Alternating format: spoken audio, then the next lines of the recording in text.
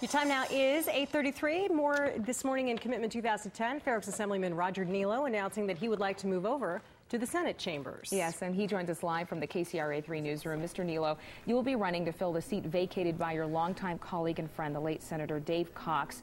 You know, you, you come into a time where there, there is a lot of tumultuous activity, not only politically but economically. Why take the job now? Well, because I'm not done, actually. Uh, I've served in the Assembly for six years, uh, and uh, this is the end of my Assembly career. I had planned on moving on to the Senate because uh, there are so many uh, things that I still want to accomplish in terms of uh, business regulatory reform, uh, budget reform. Uh, I've been uh, at the forefront of that, continuing to work on improving our methods of delivering projects to improve roads and bridges and the like.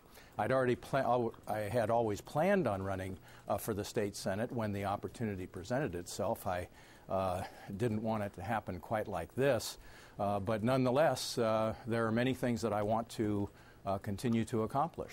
Um, while you're here in the current job that you have, what, um, wh- how would you describe this budget negotiation and where we are now? Do you feel like we're getting any closer for people at home who are wondering about furloughs and job losses? What can you tell them at this point?